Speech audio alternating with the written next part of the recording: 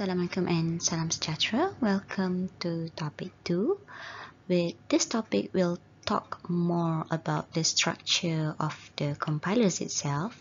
So let's start. To understand the significance of compiler, let's discuss a bit about that very powerful chip inside our computers, the CPU. While it can complete billions of operations per second, the type of instruction that it can do is actually very simple. It can do basic arithmetic such as addition, subtraction, multiplication, division. It can load values, it can move values, and it can compare between two values. A CPU can do very basic tasks, but what about instructions that are more complicated, such as if else or array function or a function itself. Therefore, there must be something in the middle that is able to translate this high level instruction into basic instructions that a CPU can execute. That something is a compiler. Let's look at the definition of compiler.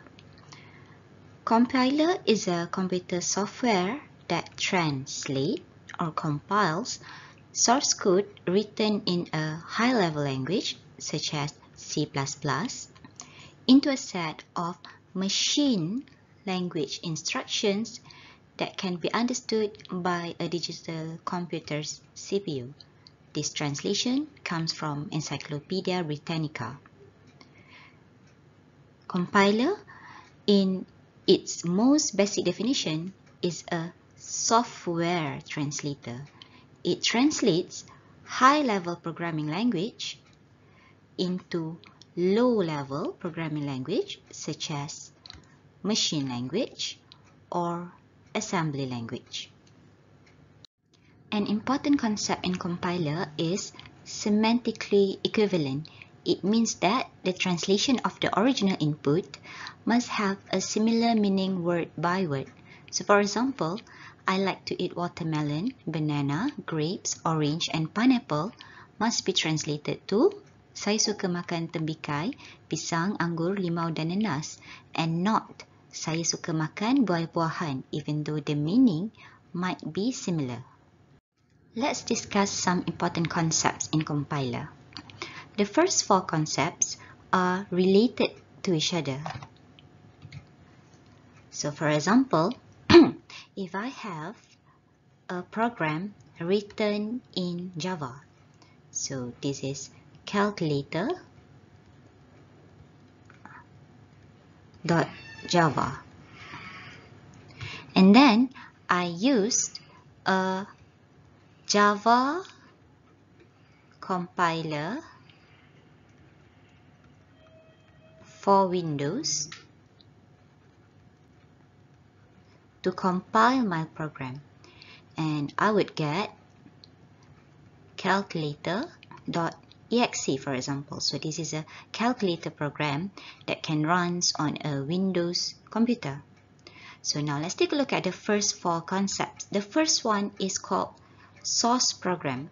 In our example, calculator is our source program because this is our source. And the program that we have written is a calculator program. And then let's look at the source language. So the source language is Java because our program is written in Java language. So this is source language. Now let's look at object program. So this is our object the results of our compilation. So our object program is still calculator. It is a calculator program. And our object language is Windows machine language. Because in order for it to be able to run on a Windows platform, it must be written in Windows machine language. So if you see here, our compiler in the middle works as a translator. It simply translates from Java language into Windows machine language. It doesn't change the program itself. So if previously it is a calculator program in the source, as the object, it is still a calculator program, just written in a different language. Next, let's take a look at the remaining four concepts. Okay, the first one is compile time. So compile time is the time taken during the compilation here. So when our Java compiler is compiling calculator.java, the time taken is called the compile time. Therefore, compile time error is any error detected during compilation. So for example, if you have syntax error, such as missing semicolon. So this is a compile time error. Okay, how about runtime? So runtime is when the compiler is done compiling the program and the calculator.exe is used by user. So our user is using our calculator. So when the user is using this calculator, this is what we call runtime. The compiler is no longer in this situation anymore because the compiler is done with its compilation task. So now the user is using the calculator and this is called a runtime. Therefore, runtime error is any error that is faced by the user when it is using the calculator. So for example, if the user try to divide by 0, so it keys in 5 divide by 0. So you will get some sort of logic error. So logic error that is faced by the user when it is using or running the object program is called runtime error. When comparing the advantages or disadvantages, we can look at these points. So first, high-level programming languages like Java or C++ are certainly easier to learn than machine language because machine language involves coding in binaries. Next, machine independent. As long as a Java compiler for multiple computers exists, for example Macintosh, Linux or Windows, you only need to learn Java language and you can compile your programs on these multiple computers. As finally, high-level programming language um, support abstraction. This makes it more sophisticated because programmer does not have to know how certain functions work. They just need to know how to use it. So for example, um, to display the current date, if you are programming using Java, you can just create an object of class time or class date and um, call the function of today or if I'm not mistaken. Next, on the minus side, uh, the disadvantages of high-level programming language. First, we don't have complete control. So we cannot decide, for example, at which address we want to put our variable. These are all abstracted for us and decided by the high-level programming language itself. However, if you are doing your programming using machine language or assembly language, you can actually specify in which memory address you want to store your variable in. Next, because compiler is a translator, it might produce an inefficient translation. Therefore, inefficient machine language may be generated. And finally, if we develop our program in Java, for example, we would need a Java compiler to compile it before we can run it. So this is the additional software needed. But if you are writing your program in machine language, you can just simply run your program without needing an additional compiler. Here are some examples of compilers that have been developed. To represent compilers, we have several ways of doing it. A popular way is called a T diagram. So for example, for the first compiler, Java compiler for Apple Macintosh, you can represent it by first drawing the T block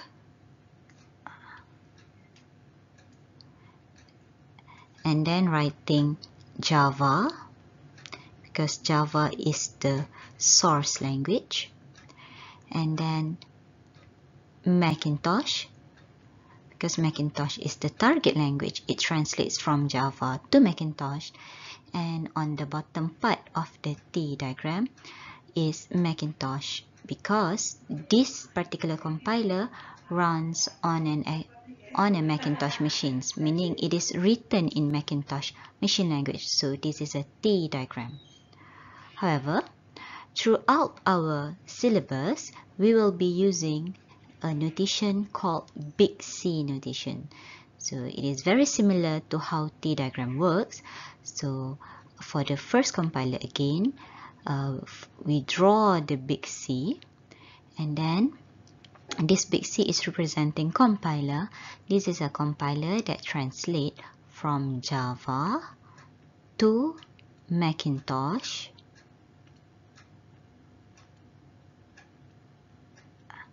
and it is written in Macintosh machine language. So this is for the first compiler. As for the second compiler, a COBOL compiler for UNIVAC, this is how you represent it in Big C notation.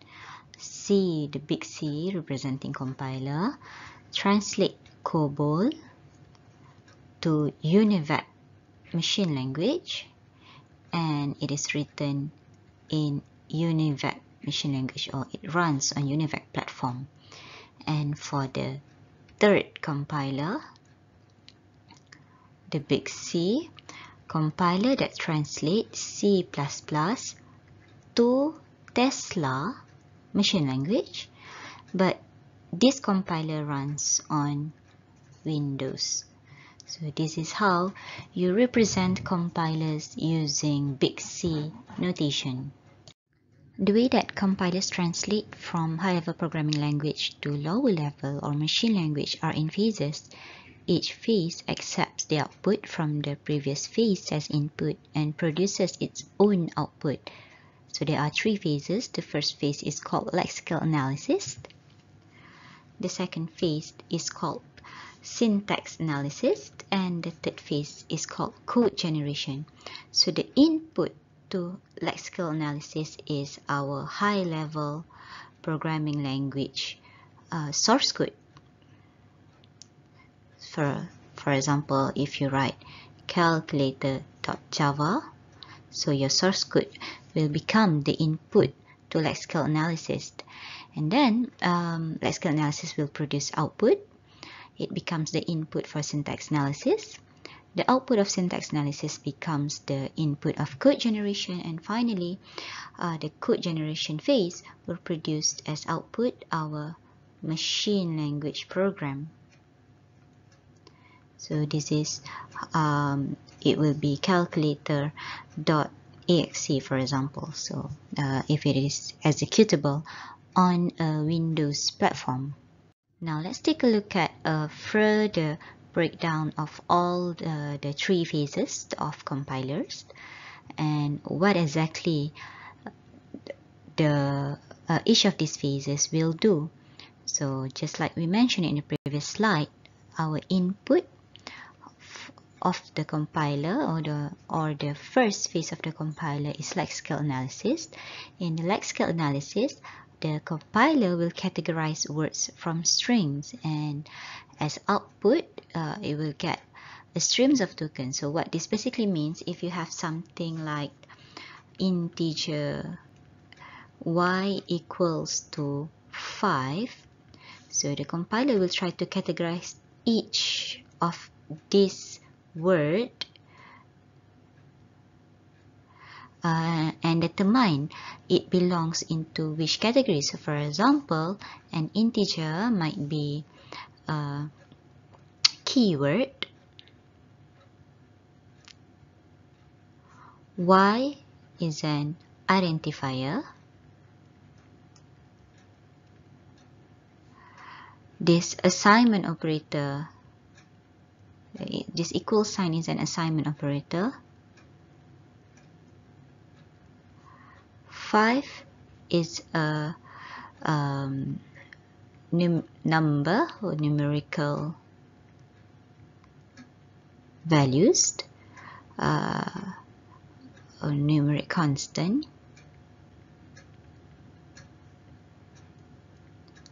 And finally semicolon is a special character Next, um, it will produce as output the streams of tokens. So streams of tokens are basically uh, all these words that have been categorized. The output of lexical analysis will then becomes the input of the second phase, which is syntax analysis.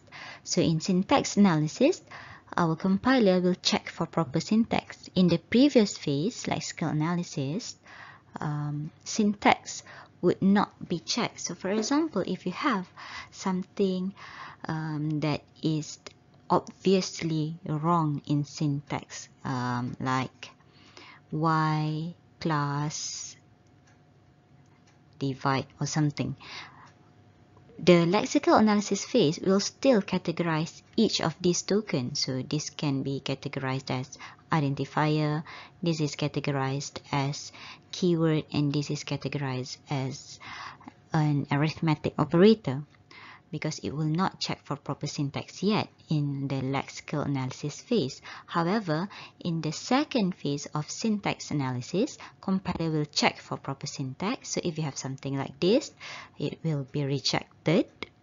So it will, uh, the compiler will issue an error message, a helpful error message. For example, semicolon expected at line 72.